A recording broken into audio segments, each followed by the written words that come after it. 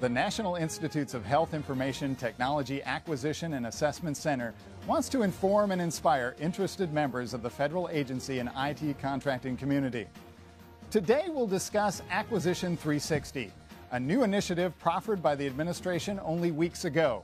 It's about to streamline federal IT acquisitions through greater transparency and communication.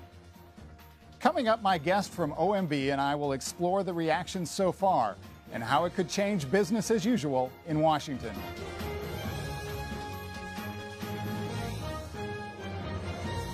Hello, I'm Todd Schwartzrock, and welcome to NITAAC Now, brought to you from the Department of Health and Human Services broadcast studios here in Washington, D.C.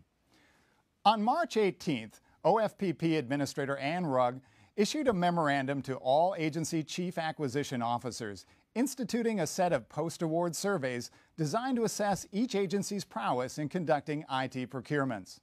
Joining me to talk about this is Porter Glock, the Office of Federal Procurement Policy's point man for Acquisition 360.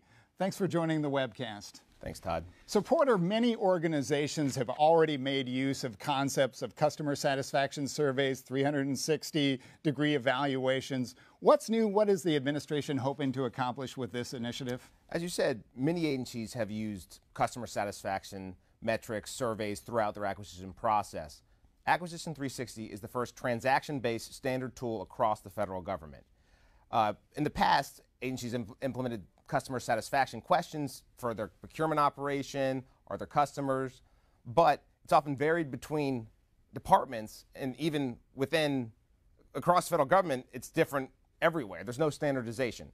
So Acquisition 360 provides a standard set of questions that agencies will ask the vendor, the procurement operation, and the program office on transact on procurement transactions so they can get immediate feedback on how they did throughout the process very comprehensive program. What strikes me is that the federal government, the largest buyer of health IT and IT procurements, period, is reaching out to the contractor community and saying, look, grade us, help us increase the efficiency of what we're trying to do. Can you expand on that? Yeah, I think it's a big step going forward in, in IT procurement across the board in the federal government. Uh, it's no coincidence that the first iteration of Acquisition 360 focuses on IT procurements generally. Agencies are required to, to survey a percentage or a number of their top IT procurements. Uh, in our personal lives, we're very familiar with rate my, rate my service at a restaurant. How do we do on the, on the receipt? They'll have a survey link.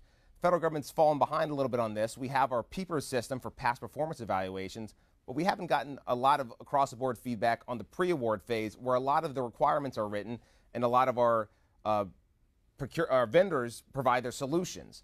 If we have bad requirements, we're going to get bad results go going forward. So we want to look at the pre-award phase, and that's what Acquisition 360 focuses to do. You're talking about a comprehensive effort for stakeholder engagement. I know the NITAAC, others are constantly looking at ways to make those processes more efficient. How do you collect this data? How do you distribute this data and put it in the right hands at the right time? What are some of the things that the administration is looking at, and how can you uh, make use of this to make this program and improve what is being done in the federal IT procurement community? Yeah, I think GWAC holders are going to be particularly interested, as you said, in Acquisition 360. There's actually two questions in the survey for COs that ask them why they, if they use the GWAC, why do they use it?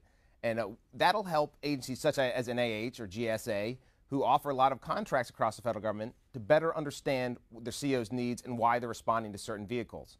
If the agencies know that, they can offer better solutions going forward. And I think our hope generally with Acquisition 360 is that the program managers, the uh, procurement operations, know where they need to focus their resources, where we can improve. Do we need more industry outreach in the form of uh, vendor days? Uh, do we need uh, more time for RFPs, for responses? We hope that Acquisition 360 gives the offices the tools to make the choices to, to, respond better to their agency's mission needs. There's a responsibility here that will make this program more reliable, more effective, and actually produce the results we're looking for. Not long ago, March 18th, Anne posted this on her blog. Successful acquisitions depend on a clear understanding of the market's capabilities and dynamics. And this requires early and meaningful engagement with industry and the application of strong management practices within the agency. So Anne is pointing to the bi-directional responsibility of communication. Can you expand on that? Sure. Uh, communication is nothing new to OFPP. In the past few years, we've released two Mythbusters memo, myth-busting memos that encourage procurement engagement with industry early and often. In the past, there was seeming, seemingly a wall and people were afraid to talk. Well, talk is good. We want to communicate to get better results. Uh, Acquisition 360 provides another tool to allow for that engagement. And again, it focuses on the pre-award side of things. Uh, the standardization should be huge in allowing departments to see where they need to better engage and where communication can improve. Uh, and the idea wasn't new to OFPP. It came from responses, industry responses to our first open dialogue in doing business with the federal government, which was held last year. It was an online dialogue where ideas were submitted and voted on by vendors and, and the general community, procurement community. And one thing that was heard over and over again was a lack of engagement in the pre-award phase. You know, if vendors have a solution they want to offer and they can't offer it, well, we want to know why and how we can be better served, such as the commercial marketplace. We want to get the best solutions to our to our needs. And I think engaging with the industry early and often through things like the Acquisition 360 surveys will help us get there. A comprehensive and collaborative effort, to be sure. Thank you for sharing your insights. Thanks. Thank you for being with us. We hope you'll come back and uh, share with us the progress that this uh, program is producing. So I hope our viewers have gained helpful insight from this webcast. If you'd like to know more about Acquisition 360, go to the website fedgovcontract.com slash omb-toc.htm.